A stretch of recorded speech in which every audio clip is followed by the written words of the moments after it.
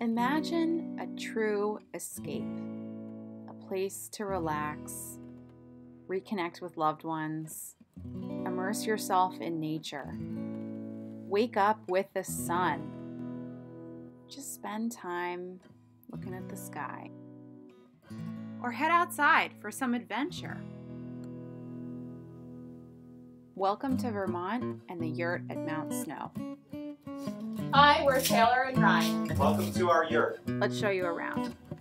The yurt is situated on 20 acres of forest, about 10 minutes from Mount Snow. Inside, there's a comfortable queen size bed and a futon. There are multiple sitting areas, a mini fridge and microwave. The deck in front of the yurt is spacious, with lots of places to sit and an incredible view looking over the Green Mountains. If you're curious about the bathroom, it's a separate structure on the platform behind the yurt. The incinerator toilet is simple, odorless, and very easy to use. And this is a loo with a view. And about that view, this is an incredible place to watch the sunrise, no matter what season you're in. And as Ryan says, you feel like you're lifted up in the trees surrounding us. Uh, they're mostly maple, some birch in here. Okay, for those of you curious how we constructed this thing, here's a quick overview. Constructing the platform to hold this yurt was a major labor of love. Ryan designed and constructed this platform mostly on the weekends through the summer of 2020, sleeping in a tent or even in the car while this thing got built. Once the platform was built, it was time to lay the circle for the yurt, which required a little ingenuity and a lot of insulation. Big thanks to the friends of ours who lent a helping hand at this stage.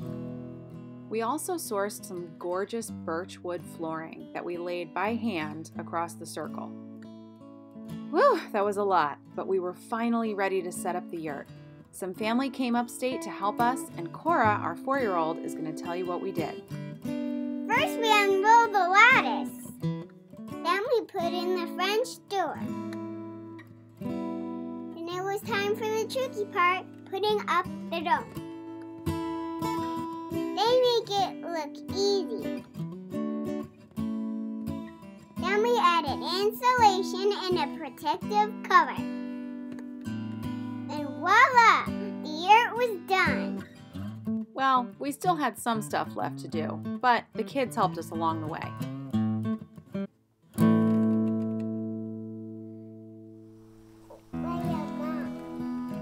Love Vermont because it is beautiful up here. This location is pretty perfect for a getaway. Whether you spend time admiring the maples and birch trees on the property, adventure in Vermont's fields or small quaint towns, the covered bridges, or head to Mount Snow, which is just five miles away, it's a pretty awesome place.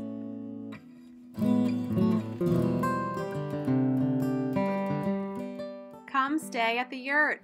This magical experience is waiting for you.